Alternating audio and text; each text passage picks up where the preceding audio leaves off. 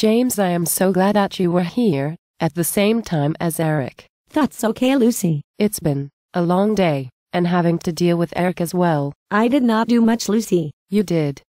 Just being here helped a lot. I was glad to help. I should go now. Back to my dorm. But you know I can't get there as a girl. And looking like Kim, her dorm room is only down the hall. She might see me. You can't go, James. Not yet. Please don't go. What if Eric comes back? He said he would. He won't be back. Besides, I need something to eat. I can help there. I can make you something, I should go, Lucy. Let me go, please. at least. As a thank you, James. I have plenty of food in the fridge. Well, I would have to get some food from a takeaway if I went now. I'll stop then. I can't turn down good food. Good. You will have to stay looking like Kim though. Just in case Eric comes back. All right, but only until I've eaten. You know the doors are locked at 10. And there are no boys allowed in the rooms. By that time, Kim should be on her way. What delayed her? Kim didn't say. It was probably a boy. She is like me. She does like going out. I'll find out when she gets here. Some girl talk later on will be good. Who's that at the door? It could be Eric. Well, if it is, I am all set to help. Hello, Lucy, I am sorry. I am a bit late. Kim? You're here. I did not expect you till later on. Yes, Lucy. You were expecting me.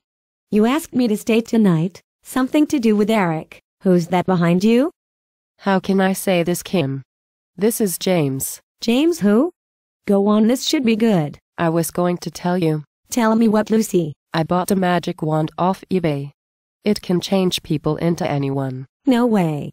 She looks just like me. Hi, Kim, nice to see you again. Thank you for your help. We spent most of the day together yesterday. Kim, I was with Lucy yesterday. No. That was James. I changed him to look like me. Yes, Kim, that was me. Show her, Lucy.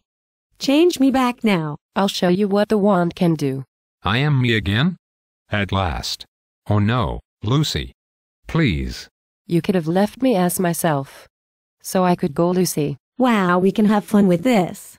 Just think of the possibilities. We could be in two locations at the same time. Yes, that's a good idea, Kim. We can talk about it over some food.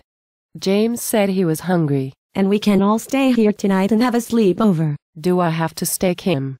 Lucy, please change me back. So I can go. Not yet, James. Stay like that. We will talk it over as girls to plan what we can do next. You can stop here tonight in the girls' dorm after all. It will be a fun night, just the three of us. I will get the food on.